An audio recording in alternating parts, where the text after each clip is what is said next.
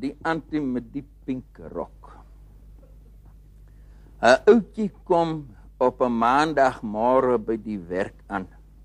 Maar sy een oog staan blou geslaan tot deur. Die hare steek amper nie eers uit uit die oog uit nie. Sy ou maat sê vir hom nou waar het jy dan nou loop spree dat jy so geneek is? Hy sê nee, ek het nie gat spree nie gistermôre binne in die kerk. Hulle sê vir hom, man moenie kyk praat nie, jy weet. Uh hy sê nee binne in die kerk. Hy sê ek het nou wakker geword gistermôre en ek het opgestaan en ek het my geskeer en gewas en ek trek my pakklere aan. Hy sê en ek vat my boeke en ek stap met 'n lied in die hartkerk toe. Hy sê en soos wat ek nou so kerk toe stap, kyk ek ook nog hoe skoon is dit nou hier op die Sabbatsmôre. Hy sê en ek loop by die kerk in en ek stap so 'n entjie met die gangetjie af en daar gaan sit ek op die punt van een van die rye banke. Hy sê en ek steek my boeke hier in die lening se rakkie in voor my. Hy sê ek maak my oë toe en ek sê my gebed op. Sy maak my oë oop. Hy sê en dit voel vir my nou ek sit daar op die randjie van die saligheid self. Sy die orgelis speel daar 'n sawwe stuk musiek. Te wonderlik. Hy sê wat ek so sit en kyk en dink raak dit skielik skemer in die kerk. Hy sê en ek dink nou hoe ek dan nou gekyk toe ek hier kerk toe geloop het vanmôre dat ek die wolk nie gesien het wat nou voor die son intrek nie. Hy sê en ek kyk so van die regterkant van die kerk af of ek nie kan sien van watter kant af die skade weer val nie. Hy sê en toe ek so na die linker sy deur toe kyk, Toe sal ek sien dit is 'n antie wat daar by die deur inkom. Hy sê maar dis 'n geweldige antie. Hy sê sy's nou soos 'n hangkas gebou van bo tot onder ewe wyd. Hy sê 'n groot. Hy sê toe ek haar nou daar sien was dit net wat sy oorent kom aan die binnekant van die kerk toe sy onder die kusyn van die dubbel deur reg opkom. Hy sê daardie antiese rok is so groot jy sal amper in die ou tyd kan van hom 'n nagmaal tent gemaak het.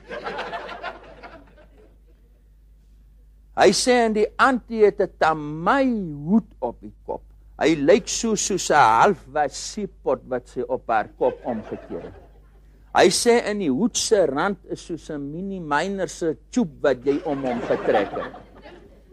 Hy sê in die rand van die hoed Dis nou soos 'n Bedford lorry se voortyer wat jy so op die loopvlak deurgesny het. Hy sê in in die tube van die mini motorkar staat 'n vuur so soos 'n palmtak bokant daar kom. Hy sê en die antie kom daar so met die dwarsgangetjie langs maar nou sê hy so half skuins geswy. Sy kom nou so krap krap krap krap krapperig kom sy nou daar in die dwarste aan en sy kom vat die gangetjie reguit na my toe op. Hy sê nou die fout wat ek gemaak het is om te gedink het aan die wat laaste is sal eerste wees. Ons maak mos altyd die kerk van agter af vol. Hy sê ek het nou net verbygeloop tot by die agterste mense verby daar ek loop sit. En die anti-redeneer toe net so, sy kom nou van voor af om ook so ver agter toe te kom as wat sy kan en sy kom sit reg voor my. Hy sê maar so sy aankom daar kan jy ook sien sy moet na haar lewe geweldig hard gewerk het. Hy sê sy het net sulke muscles. Hy sê en toe die antie daar voor my kom sit.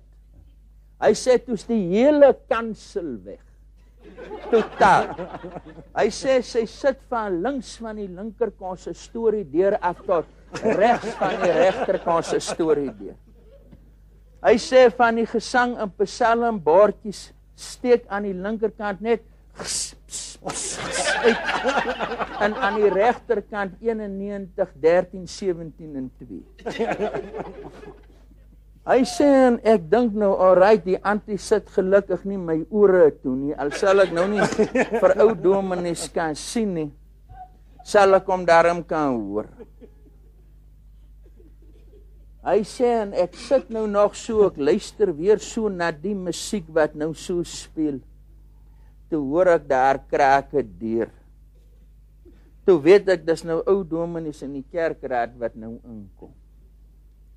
Hy sê toe loop links van die anti 3 ouderlinge uit en regs van die anti 3 diakens. Die hele res van die kerkraad sit agter. Hy sê 'n ou dominee kom om die groet uit te spreek. Hy sê en toe hy sê hande so opsteek. Hy sê toe's al wat ek sien net sy drie langste vingers se voorste litte. Dis al wat ek van die seun kry toe hy hom daar uitspreek. Hy sê 'n ou dominee gee die voorsang van die gemeente op en hy lees die versie.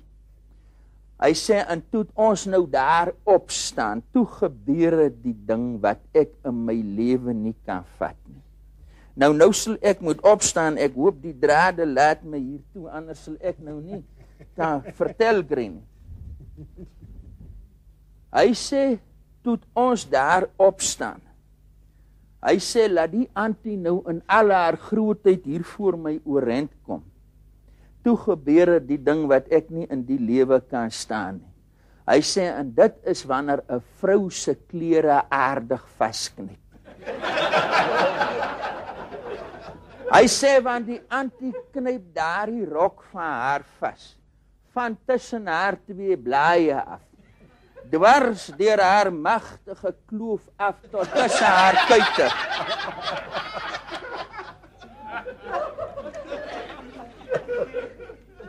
Hy sê ek vat die gesangboek en ek hou hom hierso, maar ek kan die antie nie agter die boek inkry nie. Hy sê dan sing ek so 'n stukkie dan laat sak ek die boek om te kyk of die antie nie dalk gelat los het. Hy sê dan bring ek weer die boek op en dan soek ek die plek waar die gemeente sing. Teen die tyd wat ek die plek het wonder ek van voor af, dan laat sak ek weer nie.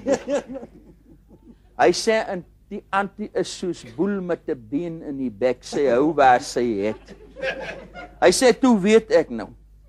Ek sal van die gesang niks sê nie en ek buig vooroor en ek trek die rok uit.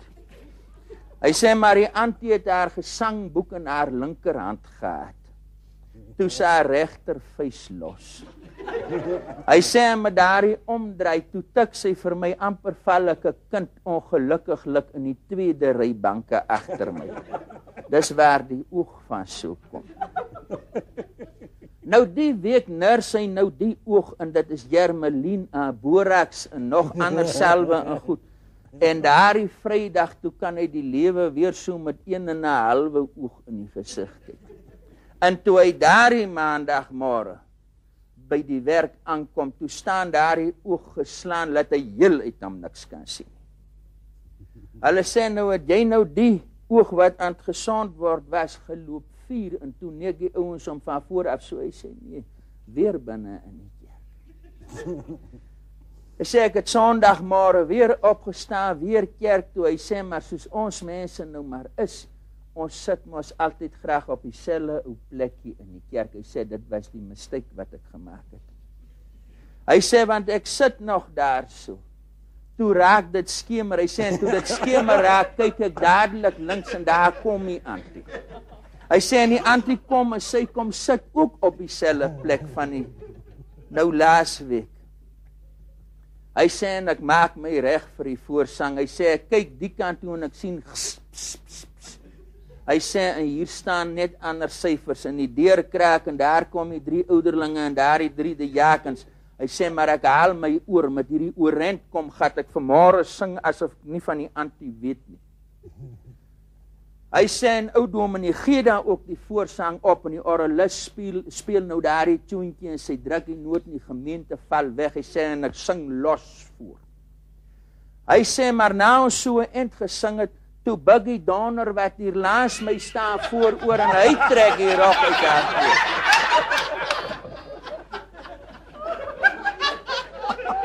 Hy sê en om ek toe nou weet sy hou nie daarvan die drukke kom toe terug.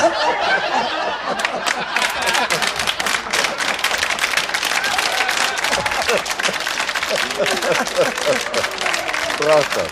Pragtig.